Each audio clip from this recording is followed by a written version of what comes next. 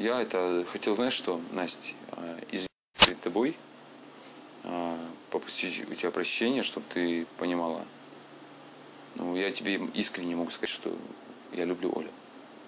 Я, мы сейчас об этом не говорили, я просто вот даже с Олей Бузовой да, сейчас поговорил. Я раскаиваюсь в том, да, что пускай ну, я хочу быть честным. В первую очередь и перед собой, да, и перед Олей, и перед родителями, да, и перед коллективом, кто, и вообще перед всеми. Быть искренним, что я изначально, когда в городе ее увидел, да, то есть мы с ней были вместе, мы общались с ней, да, то есть мы проводили, я не знаю, по 24 часа в сутки практически. каждый день. Хочешь на ней жениться, хочешь от нее детей. Я хочу, да. И мне не зазорно. На ее прошлое мне плевать. Что? Я, я вас свожу. Да. Приехала разводить и свожу. Нет, мы дело в том, что я с первых дней знала, что Дима меня любит. Я была уверена в этом, и в себе я уверена, что он ни на кого меня не променяет.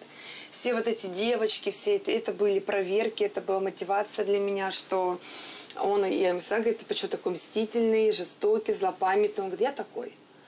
Ты меня обидела, я тебя вдвойне сделаю хуже. А ты ему не нужна была, и, и ты ему сейчас не нужна. Я просто знаю Диму. Я еще раз говорю, я знаю не один день, не два дня, да, как ты там.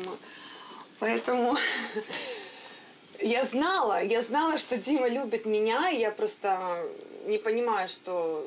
Ну и вообще, коллектив говорит, мы больше верим тебе, Оль, что ты действительно его и прощаешь, и на поляне, как вот ты к нему там э, там, не знаю, на кухню там выходила, ну, он говорит, готовь. Я говорю, да я не буду готовить. Я прогнулась, я поменялась, я ему приготовила.